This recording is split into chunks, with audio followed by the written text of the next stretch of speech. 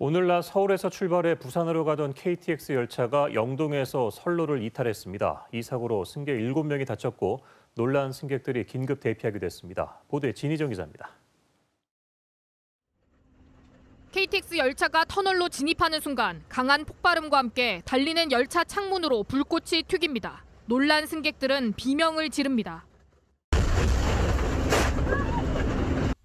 열차 유리창은 곳곳에 금이 갔고 화장실 안은 부서진 파편들이 나뒹굽니다.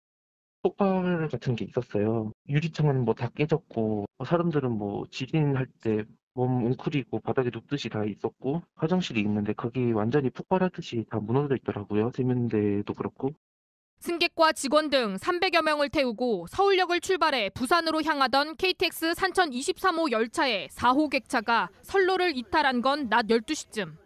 충북 영동 터널을 통과하던 중 확인되지 않은 물체와 충격 후 궤도를 벗어나면서 멈춰섰습니다.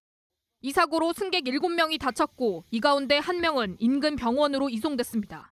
코레일 측은 충격 정도를 봐서 어떤 물체가 열차와 부딪힌 게 분명해 보이지만 이 물체가 터널 내 구조물인지는 확인되지 않았다고 밝혔습니다.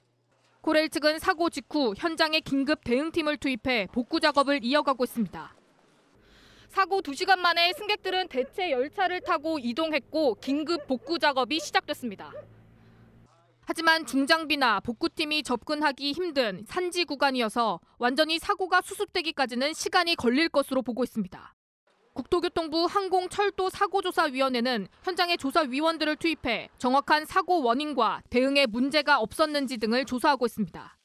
KBS 뉴스 진희정입니다.